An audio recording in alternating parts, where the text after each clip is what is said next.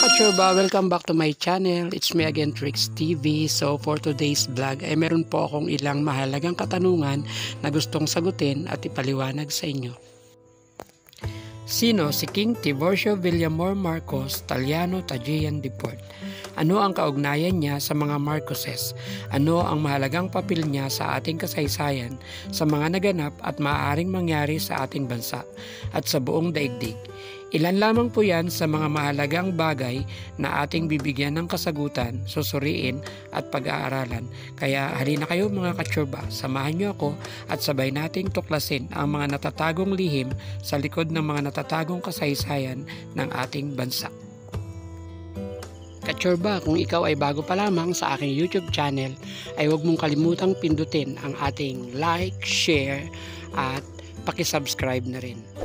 At pakipindot na rin po yung ating notification bell para updated kayo sa mga next upload na kagaya nito. Si King Tiburcio Villamor Marcos Taliano Tajian Deport ay anak ng dating presidente Ferdinand Hidralin Marcos sa kanyang unang naging asawa na si Prinsesa Inimisia Cruzin Taliano Tajian III na anak ni Prince Julian Macloyd Taliano Pagian II at Prinsesa Isabella II ng Espanya.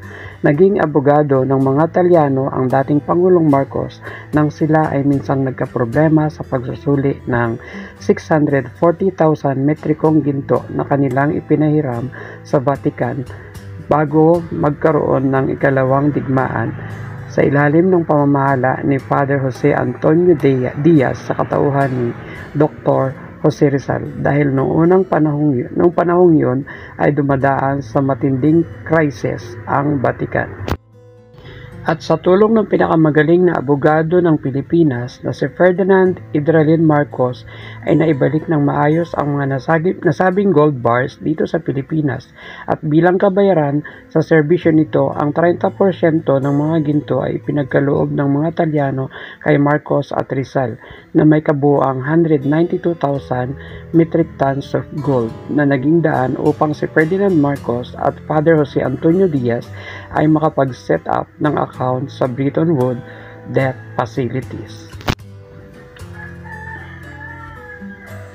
Ang mas malaking bahagi ng mga ginto na umaabot sa 400 metric tons of gold ay diniposito sa Central Bank of the Philippines ni Prinsesa Inimisia, ina ni King Tiburcio Villamor Marcos bilang gold reserves para sana ay magsilbing gold backup sa bawat perang iimprenta ng Central Bank. Subalit noong 90, taong 1997 ay tinanggalan sila ng karapatang gamitin ang mga gold reserves sa Central Bank para i-back up ang ating currency dahil sa pagpalit ni ex-president Fidel Ramos at Senador Franklin Drilon sa pangalan ng Central Bank na ginawang Bangko Sentral ng Pilipinas. Kaya tayo ay nakakapag-imprenta na lamang ng pera gamit ang mga dollar reserves galing sa mga remittances ng ating OFW. Si King Tiburcio Villamor Marcos Taliano Tagian Deport ay isa sa mga presidentiables ng ating bansa at siya ay nag-file ng kanyang Certificate of Candidacy noong October 3, 2021. Subalit sa di malamang kadahilanan ay tila ba ini ay tila iniiwasan siya ng mainstream media na pag-usapan kung sino siya ano ang rason kung bakit siya ay tatakbong pangulo ng ating bansa at tila ba isang napakalaking joke lamang ang kanyang paglantad at pagpasok sa presidential race.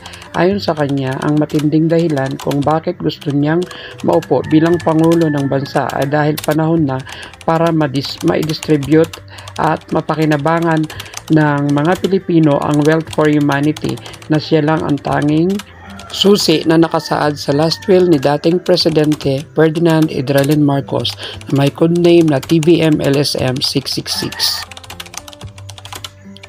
Ang Wealth for Humanity ay ang mga pinagsama-samang yaman ng mga Talyano Tajian clan na nagmula pa sa Roman Empire at sa mga ginto sa panahon ni Haring Solomon. At marahil ay magugulat kayo kung sasabihin kong si King Tiburcio Villamor Marcos Talyano Tajian IV ay ang last surviving emperor from 12 Roman Empire na siyang iniwanan ng napakalaking responsibilidad para ipamahagi ito sa halos 110 million Filipinos na karamihan ay naghihirap, walang makain at walang sariling bahay na matitirhan. Disclaimer lang po, hindi ko kayo pipiliting paniwalaan ang nilalaman ng bidyong ito. Ito po ay nakabase sa aking pagsasaliksik at personal na pangunawa. Sa halip ay inanyayahan ko po kayong samahan ako na unawain at saliksikin ang mga nakatagong sekreto ng ating kasaysayan.